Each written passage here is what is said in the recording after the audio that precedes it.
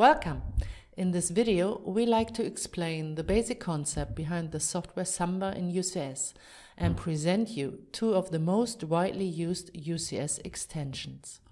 These are the Microsoft Active Directory compatible domain controller and the Windows compatible member server. Both applications can be found in the Univention App Center. Univention Corporate Server not only provides Active Directory services, as a member server, the software can also become part of an existing AD domain and it synchronizes objects such as users and groups between an AD domain and a UCS domain. UCS can thus take on the tasks of a Windows Server system.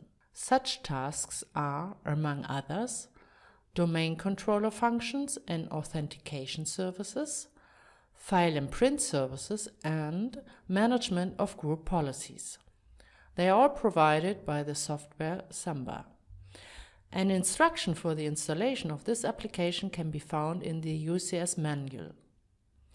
The application Active Directory compatible domain controller provides extensive Active Directory functions in order to join Windows clients to a UCS domain.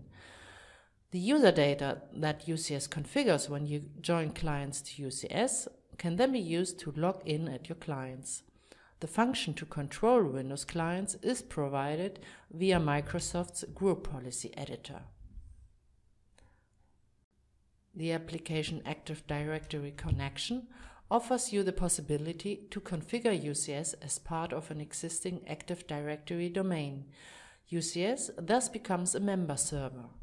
In this case, UCS is no AD domain controller but can be used to provide services and applications within the trust context of an existing Active Directory, for example print and file services, but also third-party apps from the App Center. The UCS extension Active Directory Connection also allows the parallel operation of a Windows AD domain and a UCS domain. In this scenario, users and groups are automatically synchronized between the two domains. This was a short introduction to Samba under UCS. In my next video, I will give you a more detailed description of the Active Directory connection tool.